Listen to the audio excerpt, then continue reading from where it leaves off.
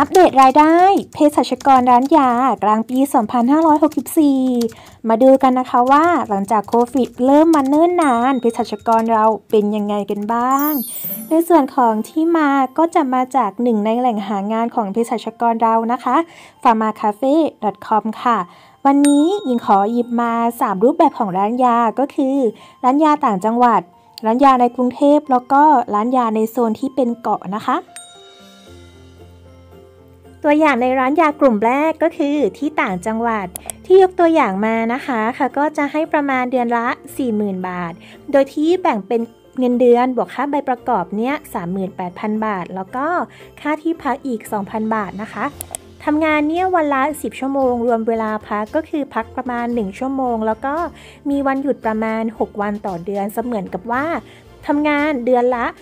24 วันนะคะ หรือว่าประมาณสัปดาห์แล้ว 6 วันนั่นเอง ถ้าหากว่าทำงานเกินเวลาก็จะมีค่า OT ให้นะคะ 140 บาทต่อชั่วโมงก็ถือว่าเป็นมาตรฐานนะคะ กลางๆ ไม่น้อยไม่มาก ในส่วนที่สำคัญเวลาที่น้องหางานนะคะ พยายามหาในจุดนี้ค่ะก็คือไม่มีการจำหน่ายยาแก้ไอหรือว่ายาผิดกฎหมาย เพราะว่า ร้านขายยาบางร้านนะคะ ก็จะมียาในกลุ่มพวกนี้ ซึ่งเราก็รู้อยู่ใช่ไหมคะว่า มันผิดกฎหมายแล้วก็ผิดจรรยาบรรณของเราด้วย ต่อมาเลยค่ะกลุ่มตัวอย่างที่ 2 ก็คือร้านยาในกรุงเทพที่นี่เขาบอกว่า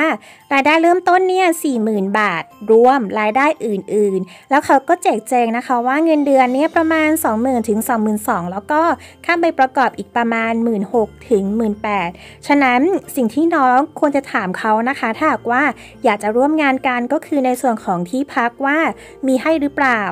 เพราะโดยส่วนใหญ่ร้านยาในกรุงเทพเนี่ยเขาจะไม่จ่ายค่าที่พักหรือไม่มีค่าที่พักให้กับเรานะคะ แล้วมูลค่าค่าที่พักในกรุงเทพอะมันก็ค่อนข้างที่จะสูงในประมาณหนึ่งนอกจากนั้นก็อย่าลืมถามในส่วนของค่า OT ด้วยนะคะ เพราะเขาบอกแค่ว่าทำงานเนี่ยวันละ 9 ชั่วโมง รวมเวลาพักแล้วก็มีวันหยุดต่อเดือน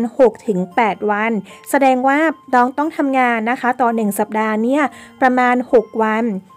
นอกจากนั้นสังเกตคำว่าไม่มีสัญญาผูกมัดนะคะ สิ่งนี้ก็เป็นสิ่งสำคัญที่ควรจะคุยกันให้ชัดเจน เพราะว่า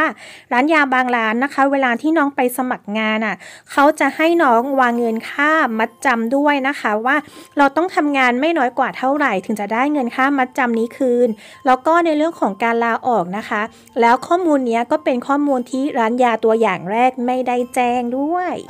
สุดท้ายเลยนะคะ ตัวอย่างที่ 3 ก็คือร้านยาที่เกาะค่ะ ที่ร้านแห่งนี้นะคะเขาบอกว่าให้เงินเดือนบวกค่าใบประกอบวิชาชีพเนี่ย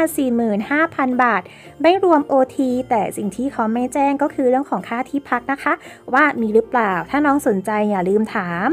สิ่งหนึ่งค่ะที่น่าสนใจอีกก็คือ OT นะคะ ที่นี่เขาบอกชัดเจน แล้วก็ทำงาน 9 ชั่วโมงต่อวันนะคะ อย่าลืมถามนะว่ารวมเวลาพักหรือเปล่า แล้วใน 1 สัปดาห์ทำงานกี่วัน นอกจากนั้นมีอีกหนึ่งข้อมูลนะคะ ที่จำเป็นอย่าลืมถามโดยเด็ดขาดก็คือ ที่ร้านเนี่ยมีการขายยาผิดกฎหมายหรือว่ากลุ่มยาแก้ไอหรือเปล่านะคะเพราะว่าในการอ่าประกาศอันนี้เขาไม่ได้แจ้งไว้นะคะ มีโอกาสที่ทางร้านอะจะมีถ้าหากว่าน้องเป็นเภสัชกรสายขาวเนอะเรื่องนี้สำคัญมากอย่าลืมถามแล้วก็